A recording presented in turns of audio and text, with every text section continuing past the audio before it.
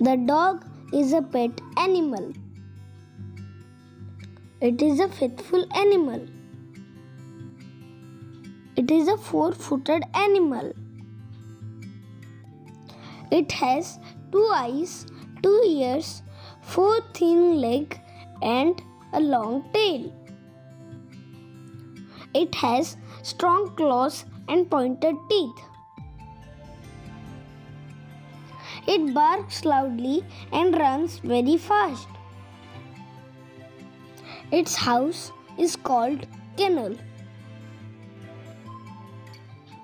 Its young one is called puppy. It eats rice, meat, fish, etc. Some people like to keep it as a pet in their house.